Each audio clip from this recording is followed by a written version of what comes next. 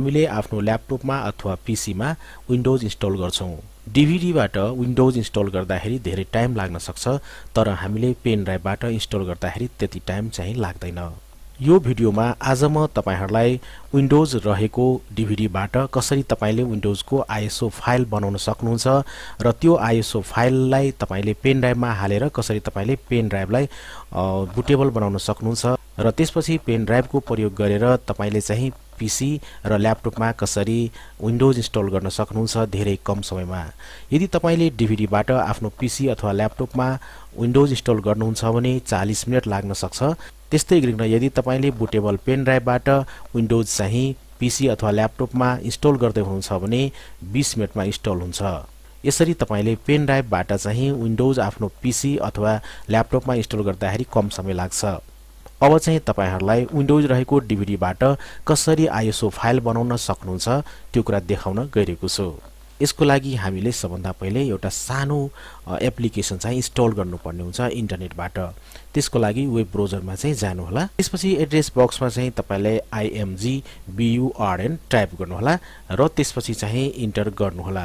त्यसपछि यहाँ तपाईँले एउटा लिङ्क हेर्न सक्नुहुन्छ फर्स्टमा। त्यस्तै गरेर यहाँ साइट हेर्न सक्नुहुन्छ आइएमजी बियुआरएन डट कम यो चाहिँ अफिसियल साइट हो र त्यस्तै गरिकन यो सानो सफ्टवेयर रहेको छ र टोटली फ्री रहेको छ। अब तपाईँले यो लिङ्कमा चाहिँ क्लिक गर्नुहोला। अब चाहिँ तपाईँ आइएमजी बियुआरएनको तपाईँ होम पेजमा आउन सक्नुहुन्छ स्क्रल डाउन गर्नुहोला र त्यस्तै गरिकन यहाँ तपाईँले हेर्न सक्नुहुन्छ आइएमजी बियुआरएनको भर्सन तपाईँले हेर्न सक्नुहुन्छ। यहाँ क्लिक हियरमा तपाईँले यहाँ क्लिक गर्न सक्नुहुन्छ टु डाउनलोड। यहाँ क्लिक हियरमा चाहिँ तपाईँले क्लिक गर्नुहोला। र त्यसपछि यहाँ तपाईँले विभिन्न प्रकारका डाउनलोड मिरर लिङ्कहरू हेर्न सक्नुहुन्छ। सातवटा यहाँ मिरर लिङ्कहरू तपाईँले हेर्न सक्नुहुन्छ। अब हामी सबभन्दा अन्तिम मिररमा जान्छौँ सेभेन मिररमा जान्छौँ किनभने यो चाहिँ फाइल चाहिँ प्रोभाइडेड बाई आइएमजी बर्न रहेको छ। त्यस कारणले त्यस्तै गरिकन हामीले यहाँ चाहिँ मिरर सेभेन लिङ्कमा चाहिँ क्लिक गर्छौँ। त्यसपछि यहाँ चाहिँ तपाईँले फाइल डाउनलोड भएको हेर्न सक्नुहुन्छ। हामी चाहिँ यहाँ सो अलमा क्लिक गर्छौँ र यहाँ चाहिँ फाइल डाउनलोड भएको तपाईँले हेर्न सक्नुहुन्छ। अब यो सफ्टवेयर डाउनलोड भइसकेपछि तपाईँले यो सफ्टवेयरलाई आफ्नो कम्प्युटरमा इन्स्टल गर्नुहोला। त्यसको लागि यहाँ चाहिँ क्लिक गर्नुहोला। यस गर्नुहोला यहाँ नेक्स्टमा क्लिक गर्नुहोला त्यस्तै गरेर यहाँ एक्सेप्ट गर्नुहोला फेरि नेक्स्ट गर्नुहोला नेक्स्ट नेक्स्ट नेक्स्ट नेक्स्ट यहाँ फेरि नेक्स्ट नो गरिदिनुहोस्। त्यस्तै गरेर यहाँ फिनिस गरिदिनुहोस्। अब यो सफ्टवेयर कम्प्युटरमा इन्स्टल भइसकेपछि तपाईँले यहाँ सर्टकट आइकन हेर्न सक्नुहुन्छ आइएमजी बर्न अब चाहिँ हामीले आफ्नो कम्प्युटरमा विन्डोजको डिभिडी चाहिँ इन्सर्ट गर्छौँ। यहाँ चाहिँ विन्डोज सेभेनको आइएसओ फाइल चाहिँ म बनाउन गइरहेको छु। तपाईँले यहाँ चाहिँ डिभिडी ड्राइभ हेर्न सक्नुहुन्छ यसलाई ओपेन गर्नुहोला। ओपेन गरिसकेपछि तपाईँले यहाँ विन्डोजको फाइलहरू हेर्न सक्नुहुन्छ। त्यस्तै गरेर यसलाई चाहिँ म क्लोज गर्छु। अब यो सफ्टवेयरलाई तपाईँले चाहिँ ओपेन गर्नुहोला आइएमजी बर्नलाई अब तपाईँले यहाँ हेर्न सक्नुहुन्छ आइएमजी बर्न विन्डोजमा तपाईँ यहाँ हेर्न सक्नुहुन्छ।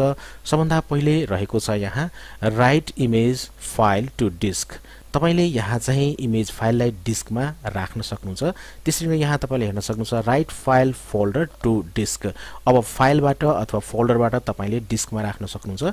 त्यसरी नै यहाँ तपाईँले हेर्न सक्नुहुन्छ create image file from disk डिस्कबाट तपाईँले आइएसओ फाइल यहाँ बनाउन सक्नुहुन्छ। त्यस्तै गरेर यहाँ चाहिँ create image file from file folder यहाँ चाहिँ फाइल र फोल्डरबाट तपाईँले चाहिँ आइएसओ फाइल बनाउन सक्नुहुन्छ।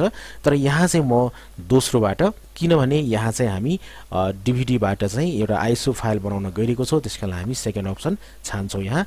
यसमा क्लिक गर्नुहोला। अब यहाँ तपाईँले यस ठाउँमा रिड ठाउँमा चाहिँ क्लिक गर्नुपर्ने हुन्छ। यो ठाउँमा चाहिँ म क्लिक गर्छु। क्लिक गर्ने बित्तिकै अब तपाईँले यहाँ हेर्न सक्नुहुन्छ आइएसओ फाइल क्रिएट भइरहेको छ। त्यसरी यहाँ तपाईँले पाथ हेर्न सक्नुहुन्छ सिड माई डकुमेन्ट्सभित्र तपाईँको यो आइएसओ फाइल चाहिँ यहाँ क्रिएट हुँदैछ। अब चाहिँ हामीले दसदेखि पन्ध्र मिनटसम्म कुर्नुपर्ने हुन्छ आइएसओ फाइलको लागि। कम्प्लिट हुन गइरहेको छ। कम्प्लिट हुने लागेको छ। कम्प्लिट भइसकेको छ। तपाईँले यहाँ हेर्न सक्नुहुन्छ कम्प्लिट भइसकेको छ। अब चाहिँ यहाँ ओके बटनमा चाहिँ क्लिक गर्नुहोला। कम्प्लिट भइसकेपछि अब तपाईँ चाहिँ माई डकुमेन्ट्समा चाहिँ हेर्नुहोला। गएर तपाईँले यहाँ चाहिँ हेर्न सक्नुहुन्छ। अब यो आइएसओ फाइललाई आफ्नो पेन ड्राइभमा राखेर पेन ड्राइभलाई कसरी बुटेबल बनाउने भन्ने कुरा यदि तपाईँले जान्न चाहनुहुन्छ भने यो भिडियो मैले आफ्नो च्यानलमा बनाइसकेको छु। त्यस कारणले गर्दाखेरि त्यो भिडियोको लिङ्क चाहिँ म यो भिडियोको डिस्क्रिप्सनमा दिनेछु। तपाईँ त्यो लिङ्कमा गएर पेन ड्राइभलाई आइएसओ फाइल राखेर कसरी बुटेबल बनाइन्छ भन्ने कुरा तपाईँले हेर्न सक्नुहुन्छ। हस् मित्रहरू यो भिडियोमा यति मात्रै। यदि यो भिडियो तपाईँहरूलाई मन परेको छ भने यो भिडियोलाई लाइक गर्नुहोला। त्यसरी नै यो भिडियोको बारेमा अरू पनि मित्रहरूलाई जानकारी होस् भने चाहनुहुन्छ भने यो भिडियोलाई सेयर गर्नुहोला।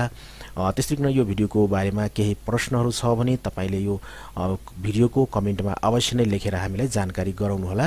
जाँदा जाँदै तपाईँहरूलाई एउटा सानो अनुरोध गर्न चाहन्छु अनिक कम्प्युटर युट्युब च्यानललाई सब्सक्राइब गर्नुहोला र त्यसरी बेल आइकनमा क्लिक गर्न चाहिँ नबिर्सिनुहोला नयाँ नयाँ भिडियोहरूको जानकारी अथवा नोटिफिकेसन पाउनको लागि। तपाईँहरूको समय शुभ रहोस् भन्दै यो भिडियोबाट बिदा लिन चाहन्छु। टेक केयर गुड बाई जय नेपाल।